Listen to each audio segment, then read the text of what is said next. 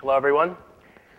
My name is Phil Simon, and today I'm going to talk about platforms and planks and ecosystems, about Amazon, Facebook, Apple, and Google. But before we even go there, I want to try a little experiment. I'd like everyone to please get on up. Trust me, you will not be standing for a long time. Have a seat if you use Amazon at all Kindle, Fire, buying books, whatever. Oh my gosh. I did this back in San Francisco, and we at least got to Facebook before most people sat down. So a few people are standing. If you use Apple, have a seat.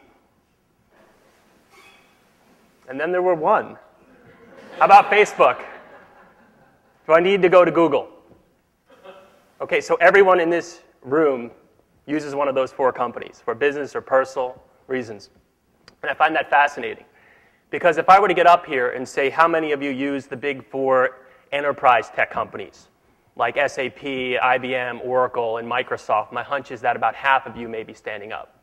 So, what's special about these four companies? How have they redefined business? And that's today what I'm going to talk to you about.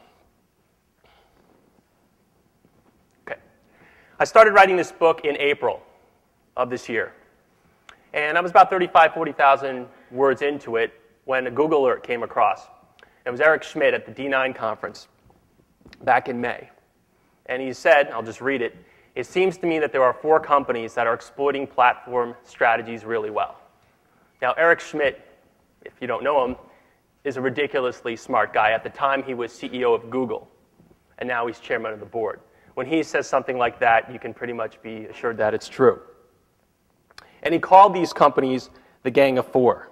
And as I just proved to you, pretty much everyone is using Amazon, Apple, Facebook, and Google. Facebook's up to, I think, 850 million last time I checked.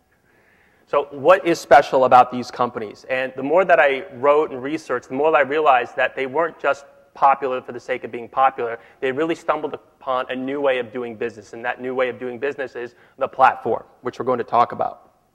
In fact, they've ushered in an entirely new age of doing business. Welcome to the age of the platform. So today we'll talk about platforms, about planks, about ecosystems, about the gang of four. But before we talk about them, it's really important to define our terms. Google has actually evaded me on this, but I think it was Winston Churchill who said, success begins with a common understanding of terms. And if you're like me, you watch Bloomberg West and sort of tech shows on a regular basis, and it seems like there's a buzzer going off every five minutes. Someone has to just say platform, right? So what do we mean by platform? Okay. To me, a platform is an integrated set of planks. Now, what's a plank? Well, it's a feature, it's an app, it's a product, it's a service. Okay, and if you look at the histories of the Gang of Four, you'll realize that they've kept changing. They kept adding new products and features. Google, which we'll talk about in a bit, didn't always used to be a platform. It became one, and we're going to talk about how. Why? Well, I would argue that this isn't 1998 or 2000. There's something to be said for non-stop, one-stop shopping. Okay, we want to be able to do everything, if we can, in one place. Now, oftentimes that's not possible, right? You really can't buy books on uh, Facebook, at least not yet but you don't really want to be on 25 or 30 or 50 different websites, right, or have different applications, right? Even Microsoft, which was admittedly pretty late to the cloud, now has a completely web-based version of Office. Okay, so if I can stay in one browser with multiple tabs, then that's probably a good thing than trying to figure out which applications are running. Okay? Next up, these platforms are enhanced by vibrant ecosystems, and I'm talking about partners, third parties, developers, communities, users, customers. And they're taking these platforms in amazing directions. I'm going to talk about some of them later on. And a really great example I'd like to talk about is with Twitter, which I'm sure if I had everyone stand up, most of you would probably sit down as well. So here's what Twitter did.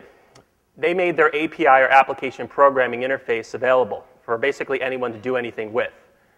And by last count, there were something like 1 million different apps or services based on the Twitter API. For those of you who don't know, an API is essentially two computers or devices talking to each other. Okay? So there are a million apps based off of Twitter. My hunch is that 95% of them either aren't very good, aren't very valuable, or flat out don't work. Okay? All right, 95%. So that leaves us with 5% or 50,000 apps or services that actually have some sort of value. And there's a great example of a company called TweetDeck. Show of hands, anyone ever heard of or used TweetDeck? Great, a lot of people. And for those of you who don't know, TweetDeck allows you to make sense of your Twitter stream, right? Because if you go to my Twitter feed, it's a bunch of nonsense, right? You can't possibly make sense of all that. But with Hootsuite or with TweetDeck, you can segment, right? You can make sense. You can follow keywords or hashtags. You can follow what's trending. You can follow individual people, okay? So TweetDeck comes along and creates this really interesting plank, possibly for Twitter. Now, yeah, Twitter can hire developers and buy it, but think about it. Just from the number of people who raise their hands, obviously TweetDeck has an existing ecosystem, right? An existing community of users, who like it. So what does Twitter do? Well, they go out and they buy TweetDeck for anywhere from 40 to 50 million dollars. They didn't release that. So that's just one example of a company, Twitter, that makes its API available, puts it out there for basically anyone to do anything with, and then a company does something with it and they cash out for a lot of money. And today I'm going to talk a little bit more about some of these other ecosystems and how even individual people like me can contribute and be a part of those ecosystems. Okay? So ecosystems and platforms are not just the sole purview of the Gang of Four. I would argue that any business can build a platform. In fact, as I write in the book that hopefully all of you have, I have built my own platform. Okay, it's not nearly on the scale of Amazon, Apple, Facebook, or Google, but it is a platform. I'm not going to sell more things than Amazon, right? But I may sell more things now through Amazon. Okay? Next up, as I said, these companies have ushered in an entirely new way of doing business. The platform is a business model. Okay? Now, I don't say that lightly. In fact, when I was working on the book and playing around with titles and subtitles and images, it was obvious to me that I had stumbled upon something big.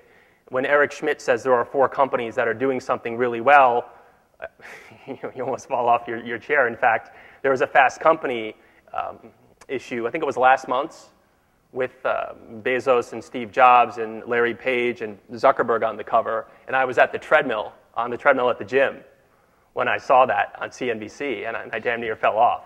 So these companies have really done something profound. Now, I can talk, talk abstractly about this, but I want to focus for a minute on Google. And as I said before, in 1998, Google wasn't a platform. Okay, it was an amazing and very profitable search engine.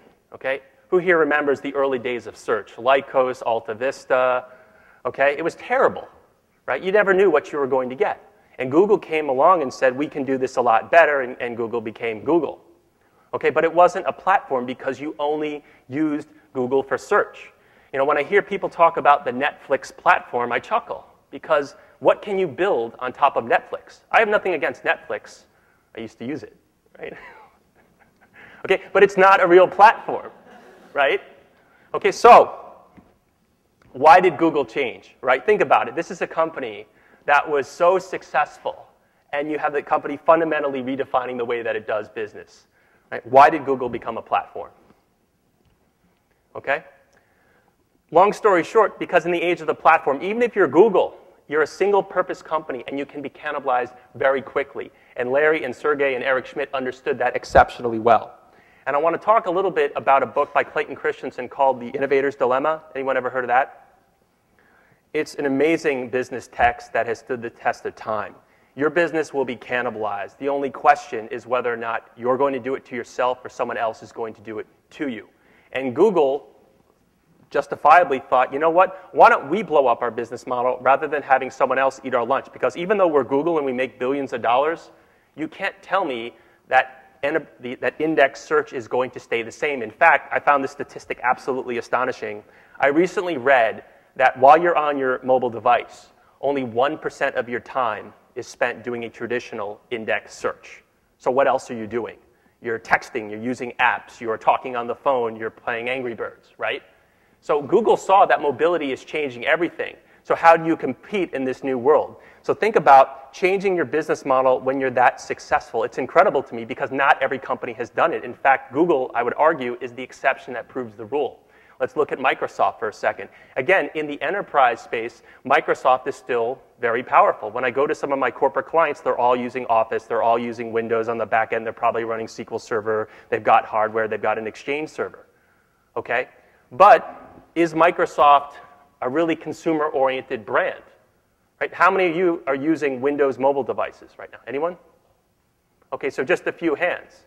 Right? I saw a statistic the other day from a TED talk that back in 1998, something like 97% of all internet devices ran on Windows. Guess what that number is now? Anyone? It's something like 46%, and it's going down. So think about it. Microsoft was an incredibly successful company, but it was unable to cannibalize itself. Again, don't cry for Microsoft. They're still making a lot of money, but Microsoft isn't one of the companies that everyone is buzzing about. In fact, Microsoft is opening up, I believe, 75 retail stores, and I'll bet you a Coke that you're not going to have the same energy in a Microsoft store that you do in a Mac store. Okay? So Microsoft really struggled changing course. In fact, Microsoft did some interesting things with the tablet, but ultimately there's a great article on CNET recently about internally Microsoft killing the tablet because there were people who said, how does this help Windows and Office? And the, the short answer was it doesn't, okay? So the innovator's dilemma. Google became a platform. How? We know why, but how did this happen? Okay. Google added Maps and Docs and Plus and Blogger and YouTube and more products than I could possibly count. Okay? In other words, Google became a platform. Single purpose companies are really at risk. Again, going back to Netflix, let's say that you're Netflix, and let's say you hadn't even messed up with pricing, right? And your stock went down by, what was it, 50%? And you're Hastings and you lost billions of dollars, okay? You're still a standalone service. Well, think about it for a second. What is Amazon doing with movies? Getting into the business. Apple with iCloud. Anyone know on YouTube now you can actually watch movies like The Godfather? They just signed up, um, I can't believe I know this, Ashton Kutcher, Madonna, and I think it was Jay Z to provide original content. And we know that Apple's going after TV. So Google understood where things are going and they diversified. They added different planks to their platform. Okay? And it keeps doing it. Okay? So that's Google. Let's take a step back. What do Apple, Amazon, Facebook, and Google have in common? Many things. And this is why it's not the smallest book in the world. Okay? First up, as we've seen, they frequently add planks to their platforms. Again, if you go back to, say, 1995, when Jeff Bezos founded Amazon.com, it was basically an online bookstore. And it was obviously a very profitable one. But I would argue now, as I do in the book, that Amazon has become a platform because you've got Kindle and Fire and you can watch movies and music. And in fact, Amazon is disintermediating the publishing industry. Anyone ever hear of Seth Godin? Okay, really smart guy. He started with Amazon, the Domino Project, and he's released 12 best-selling books. Tim Ferriss, Four-Hour uh, Work Week, Four-Hour Diet. He just signed up to publish with Amazon. So not only is Amazon selling stuff, it's now letting people create stuff. And I'm going to talk a little bit later about another example. So Amazon has embraced this notion of a platform. And it's an important thing because IT has been consumerized, right? There's a very famous expression, the consumerization of IT. You know, back in the mid 1990s when I kind of got my start in consulting in the IT world, I used the best technology available to me at work. And now, when I go to a lot of my clients, this iPhone trumps what they're using at their desk. So IT has really been consumerized. The beauty of the platform is that you can actually take it with you. You don't have to tell someone, yeah, I'll, I'll respond to your email or to your instant message when I get back home. As long as you have Wi Fi or an internet connection, you're okay. So, these companies have added different planks to their platforms. And as I said, more consumer than business oriented. That doesn't mean that you can't use Facebook for work, right, and have a fan page right? And in Google just announced this with Plus, you can have the equivalent, right? But from fundamentally, these are consumer oriented. And in fact, we've seen the rise of, I didn't coin the term, but the prosumer, basically a consumer who can produce quality content, right? And I'm not just talking about cat videos on YouTube. I'm talking about professional level podcasts or videos or blog posts, right? If you want to put out a book, use Amazon CreateSpace. You can have a relatively professional book. Okay, these are consumer oriented. Next up, they are rooted in emerging technologies. All these companies use the cloud. Now, they use it in different ways, but they understand that they don't want you to have to remember to update your Facebook status or your Google Plus status when you go back home. Why not do it with you? Okay? So they're using the cloud, they're using mobilities, they've got the open APIs or application programming interfaces, they've got SDKs or software development kits. I was actually just watching a TED video the other day at the airport flying in here. There's a 12 year old kid who's got three apps in the App Store. And he's talking about how he taught himself Perl and Python and PHP, but then he downloaded an SDK and started creating apps. And he had to convince his parents to spend $99 to get approved to go in the App Store.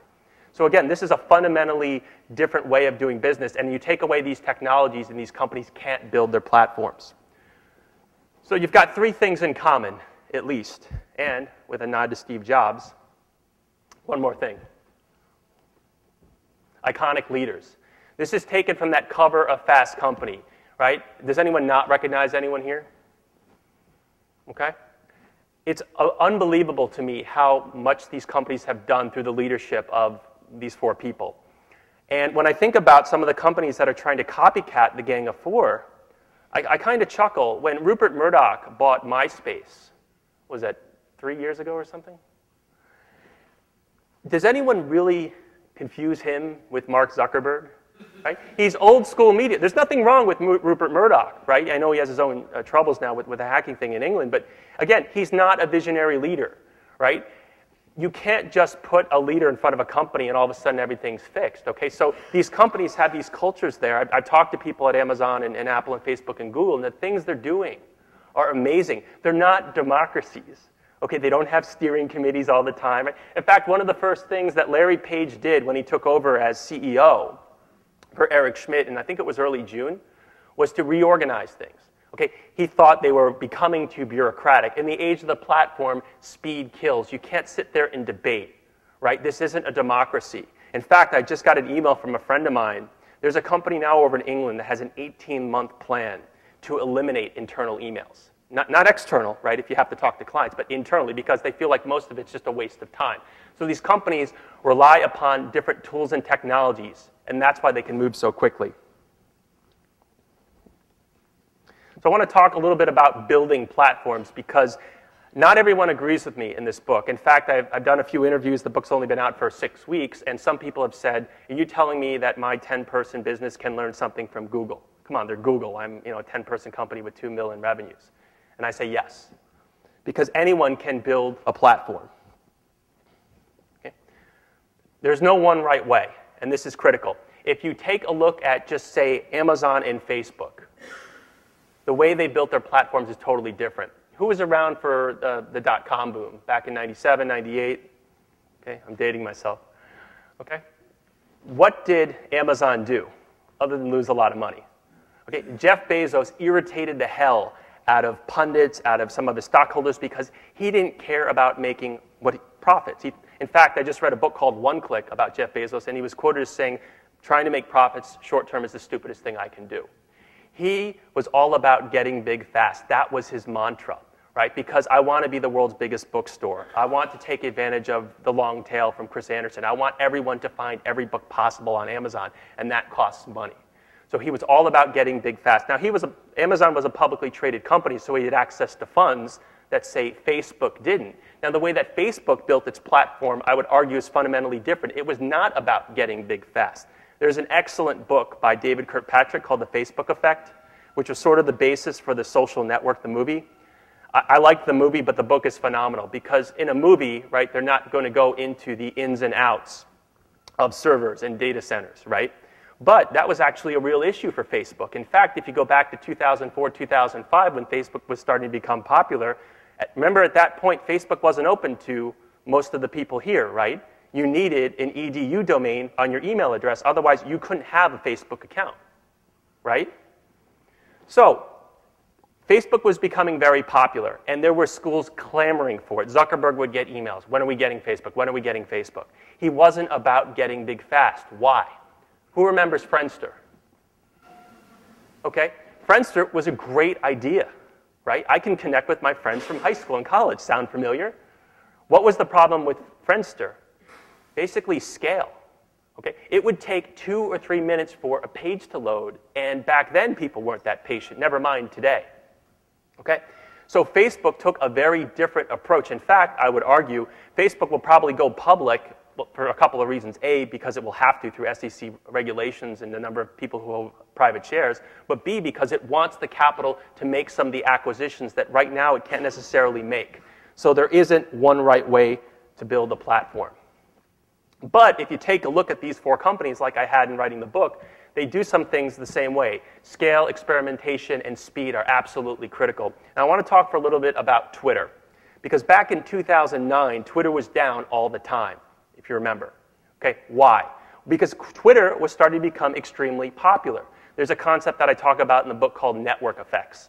In other words, if you're the only person with, say, a fax machine, well, what's the point, right? Or the only person with a cell phone, right? Or the only person with email. But once everybody has it, the value of that network grows exponentially. So it's easier, bottom line, for Facebook to add its second and third and fourth million people than it is to add its first. But in order for that to happen, you have to be able to scale. So going back to Twitter, Twitter was starting to experience network effects in 2009. And Twitter, behind the scenes, was running an open source database management system called Ruby on Rails. And Ruby on Rails was fairly robust. Okay? But what happened? Well, no one had ever tried Ruby on Rails with 50 million people, some of whom may be tweeting 10 times a day. So Twitter, to its credit, had to make a decision. What do we want to do? If we want to sell out, right, say Google, we want to be a plank in Google's platform, then we should do it. But if we want to be a standalone company, if we want to be a platform that can scale, we have to blow up our infrastructure. So that's what they did. And they actually implemented a new system called Scala, which I don't know if it's like this for a reason, but it scales much better. So as a result, Twitter was able to handle, I think the still standing record is 493 tweets per second after Michael Jackson died. But Twitter wasn't in position to do that before. So scale is absolutely critical. Now let's talk about experimentation. Okay, and I want to focus for a minute on Google+. Some people are amazed at Google+, right? But does anyone think that that's actually Google's first attempt to build a social plank?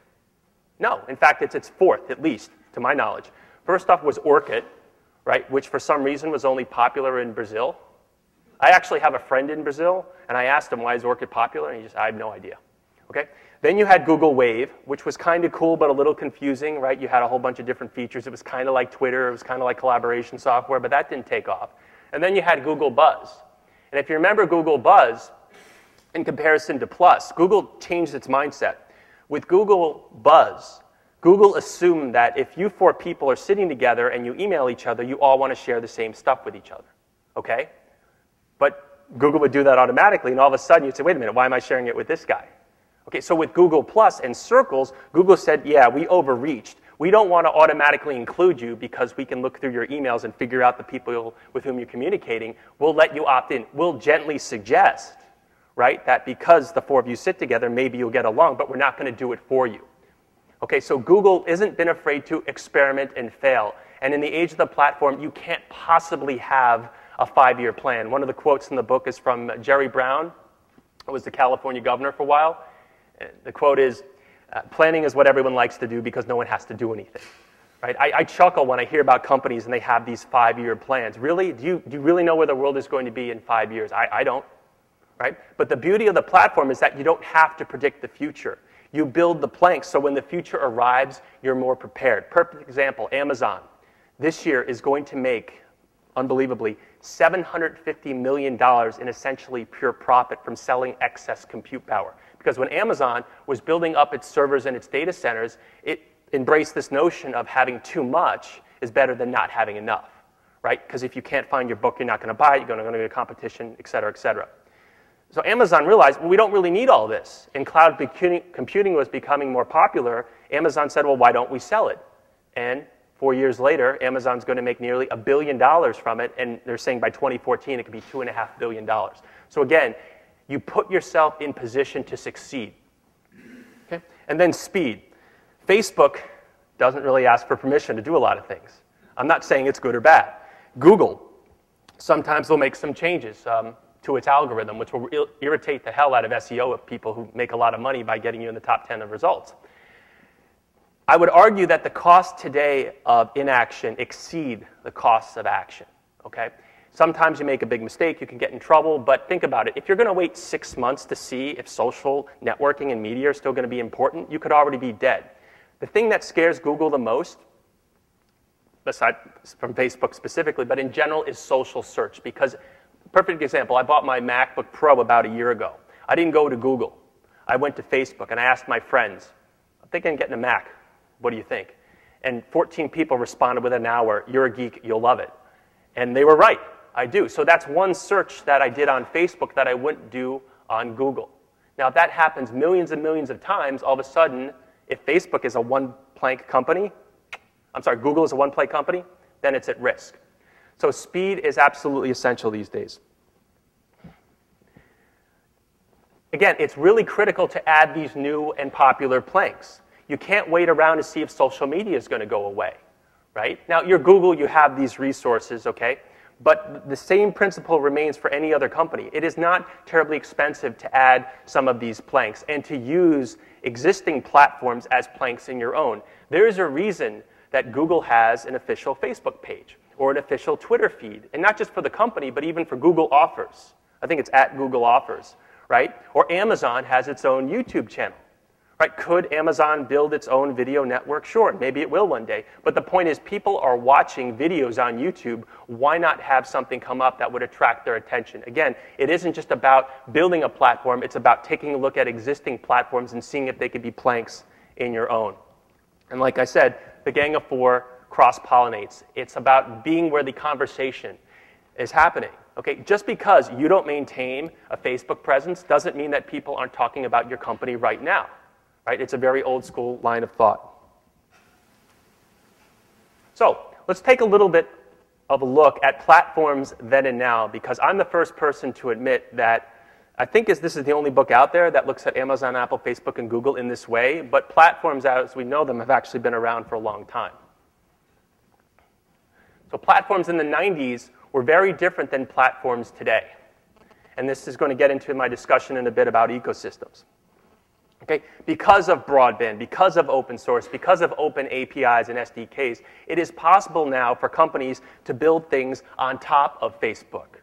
Okay, we see that all the time. Or to use the Google API for, say, maps to build uh, an application like FlightAware. My last book was called The New Small, and I interviewed a company called Chaotic Moon and the founder of this guy, William Hurley.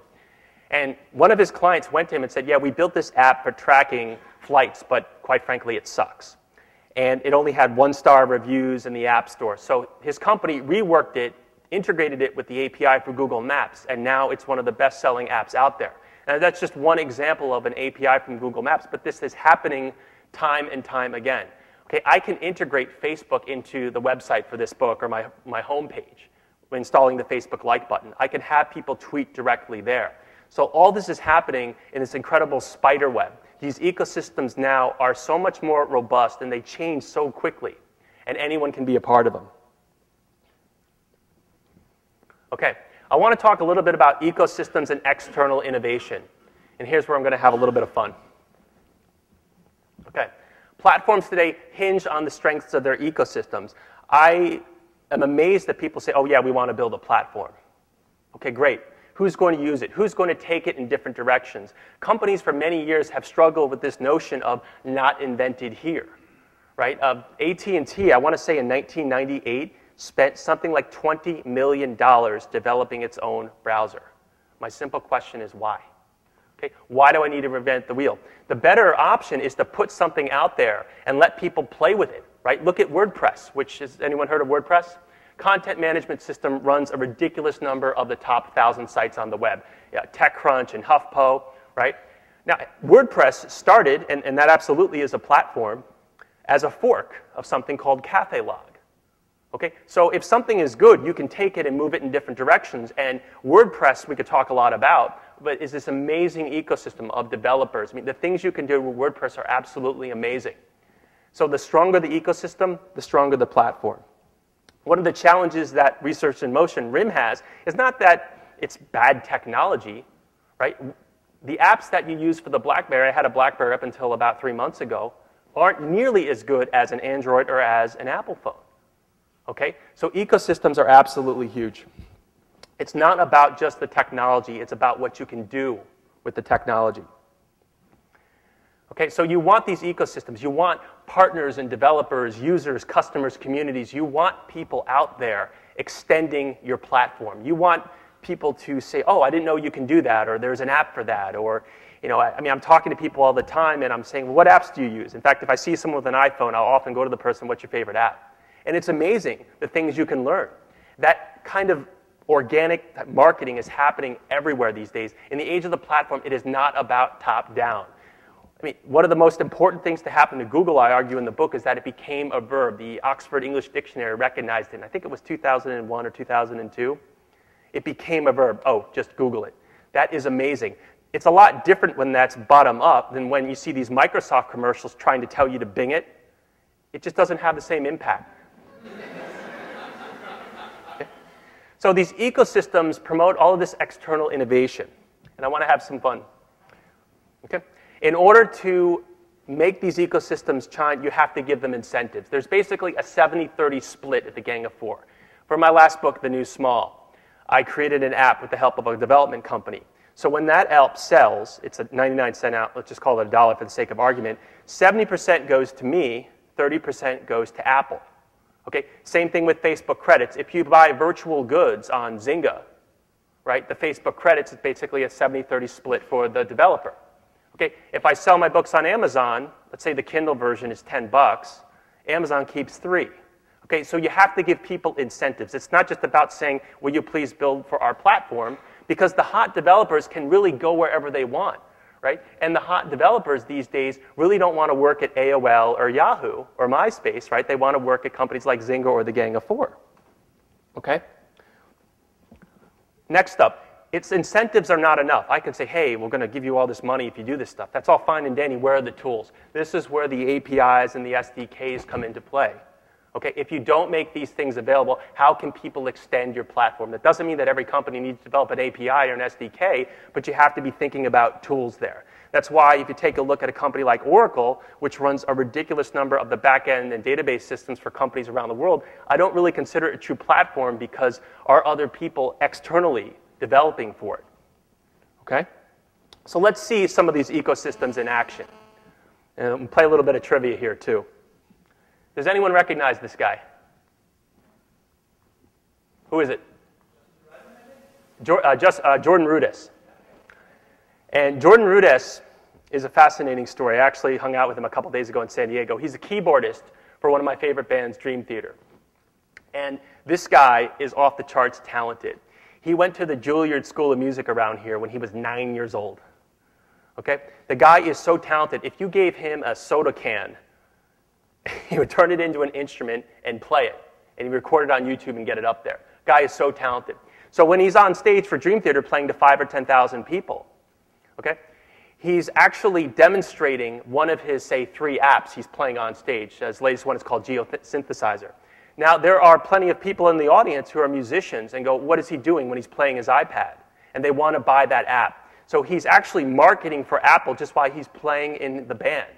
Okay, and this is just one person. Now, he might sell a decent number of apps, but there are something like 500 apps in the App Store. Again, the ecosystem is in action. This is great marketing for Apple, even though Apple really does anything directly to do with the concert. Okay, next up. Anyone recognize this woman? This is Amanda Hocking, and she's become sort of a self publishing rock star. She sold something like $1 million worth of these teen vampire Twilight ebooks. Not my cup of tea. So she sold so many of them. She made a million dollars. 300,000 or so went to Amazon. Okay?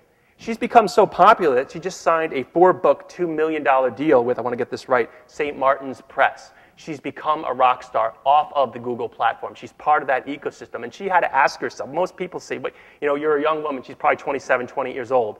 You have to think about a $2 million deal. Yes, she did because she can sell her ebooks on Amazon without the help of a big publisher. Okay? Next up, you might recognize this guy. You might not like him either. Anyone? Mark Pincus. He's the reason that some of you in your Facebook feeds get all these Mafia War updates. Okay? Because his company, Zynga, builds all of these apps on top of the Facebook platform. So some people say, is he crazy? Because if Facebook were to cut off Zynga, then his company would be in a lot of trouble. Okay? Well, yes and no. First of all, Zynga is developing its own platform. Second, Zynga, based on the success of Google Plus, is trying to work with Google.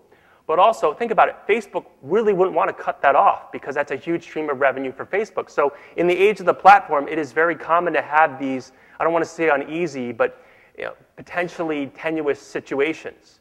Okay? You don't really want to go to war with people. But one of my favorite quotes in the book is Bugs Bunny, quoting from Groucho Marx. Of course, you realize this means war. We are going to see in the next year and beyond these platforms consistently colliding. And we're seeing it right now, right? Everyone wants to get into music, right? Google just launched Google Music a couple of uh, weeks ago, right? To compete possibly with iTunes. Amazon lets you listen to music and watch movies in the cloud. So we're seeing that these platforms are evolving and they're colliding. Okay? That's why when I saw that Fast Company issue, and the question was who will win the great tech war of 2012, I don't think that anyone will win it, right? Will Amazon become more social than Facebook? I don't see how that's possible. Okay? But if you look at Amazon or Apple, they have embraced social networking to some extent, right? It, iTunes added Ping a couple years ago, which so you can like a Dream Theater song, right? And you can communicate with other people who like that song. Uh, with Amazon, you can review books, which I would argue is inherently social. There's the like button hint on the page of this book on Amazon. Okay? So these platforms have embraced these different social elements. So I want to save a little bit of time for questions. Uh, if you want to find out about me, here's all my information. But uh, do we have time for a few? Uh, we actually don't. Let's give him a round of applause, my friends. We love him. He's staying during the break. If you have questions.